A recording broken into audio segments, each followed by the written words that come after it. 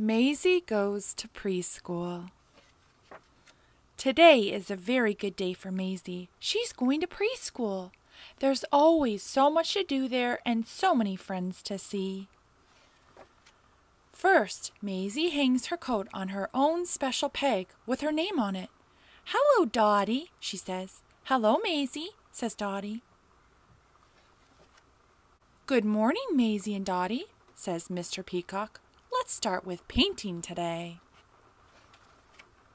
What pretty paintings! Mr. Peacock helps put them up on the wall. That's my new house, Maisy says. And that's Maisy and me dancing, says Dotty. After painting, it is snack time. They have juice, cookies, and fruit. Oh, yummy, says Tallulah. Thank you very, very much. Maisy and Dotty go to the bathroom. Tallulah reminds them to wash their hands. Story time, calls Mr. Peacock. Gather around, everybody.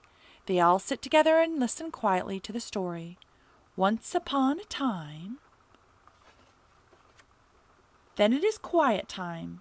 Everybody gets a blanket and snuggles up for a nap.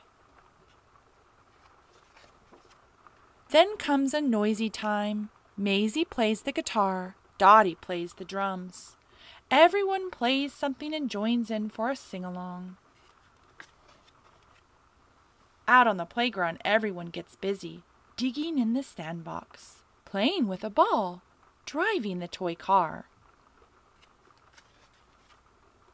and playing on the seesaw. How busy they all are! Then it's time to go home. Maisy really likes preschool. Goodbye, everyone, says Maisy. See you soon. The end.